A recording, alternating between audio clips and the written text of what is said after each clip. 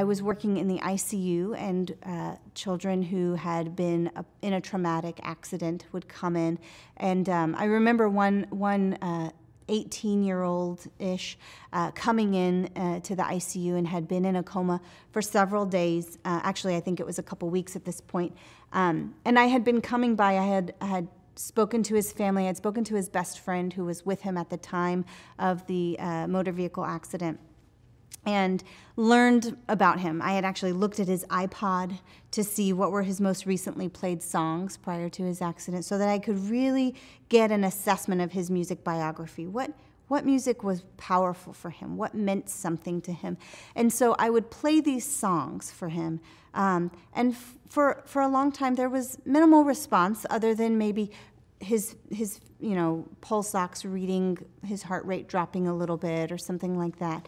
Um, but no hand squeezes, no behavioral responses that that um, the physician team would would um, validate as as a change for this young man.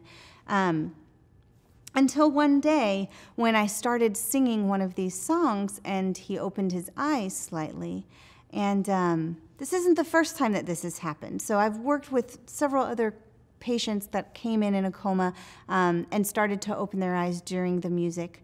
Uh, but for this man in particular, he, he didn't just open his eyes, he opened them and found me directly.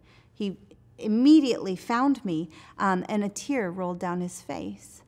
And so I thought, oh gosh, I don't know what that tear means. I don't know if I have created something sad for him, a sad memory, um, if it's a a positive experience oh my gosh i am i'm aware of something um, my eyes are open i can see you I, I can't i can't read into that tear i don't know what that tear means um, and so I, I finished the song um, slightly sooner than the song would typically end and his mouth immediately went ma, ma. and i thought oh, what is he saying i don't know what he's saying ma. and he kept saying it and i said do you want more? Do you want more? And he kind of shook his head. So immediately in that moment, he went from completely comatose to interacting with me. Um, just just like that. Now over the over the course of the next week, he had moments of extreme irritability as he came off of medications and um, became more aware. And the music would consistently meet him where he was and bring him down and allow him to calm himself without having to um, take on more sedative medications.